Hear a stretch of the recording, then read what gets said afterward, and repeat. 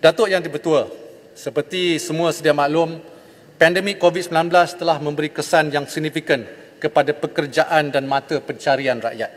Dengan kadar pengangguran telah meningkat sehingga 5.3% pada Mei 2020, sungguh pun ia kini telah menyederhana dengan kadar 4.6% pada Ogos 2021, hampir 750 ribu saudara-saudari kita yang masih menganggur, menganggur perlu dibantu.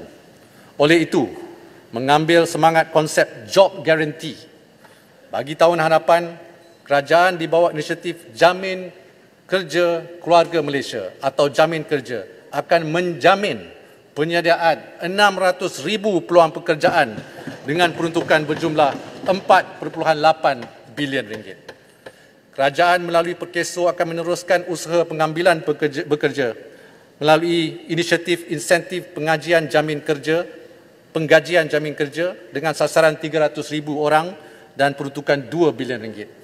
Di bawah inisiatif ini, kepada majikan yang mengambil keluarga Malaysia yang tidak aktif bekerja, kerajaan akan memberikan insentif sebanyak 20% daripada gaji bulanan bagi tempoh 6 bulan pertama dan 30% bagi 6 bulan berikutnya tertakluk kepada pekerjaan bergaji RM1,500 ke atas. Selain itu, bagi menggalakkan majikan menyediakan peluang pekerjaan kepada kumpulan tumpuan seperti OKU, orang asli dan banduan pula, kerajaan akan memberikan insentif sebanyak 30% daripada gaji bulanan bagi tempoh 6 bulan pertama dan 40% bagi 6 bulan berikutnya tertakluk kepada pekerjaan bergaji RM1,200 ke atas.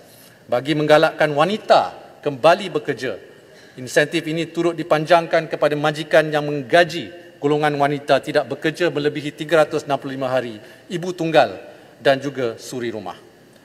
Selanjutnya, inisiatif Malaysia Short Term Employment Program atau MyStep akan diteruskan dengan menawarkan 80,000 peluang pekerjaan secara kontrak merangkumi 50,000 pekerjaan dalam sektor awam dan 30,000 pekerjaan dalam syarikat berkaitan kerajaan mulai Januari 2022. Bajet ini turut menyasarkan 220,000 pelatih untuk menjalani pelbagai program latihan dan peningkatan kemahiran dengan peruntukan keseluruhan 1.1 bilion ringgit. Antara inisiatif yang akan dilaksanakan termasuklah program Place and Train iaitu latihan dengan jaminan pekerjaan.